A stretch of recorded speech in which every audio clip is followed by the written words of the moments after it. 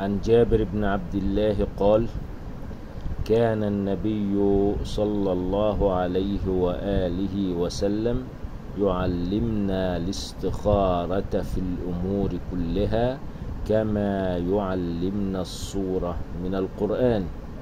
فإذا هم أحدكم بالأمر فليركع ركعتين ثم يقول اللهم إني أستخيرك بعلمك وأستقدرك بقدرتك وأسألك من فضلك العظيم فإنك تقدر ولا أقدر ولا أقدر وتعلم ولا أعلم وأنت علام الغيوب.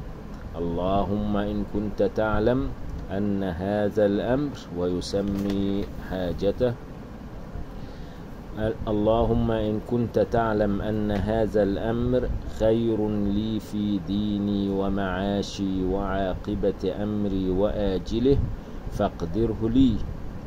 وإن كنت تعلم أن هذا الأمر شر في ديني ومعاشي وعاقبة أمري أو قال عاجل أمري وآجله فاصرفه عني واصرفني عنه.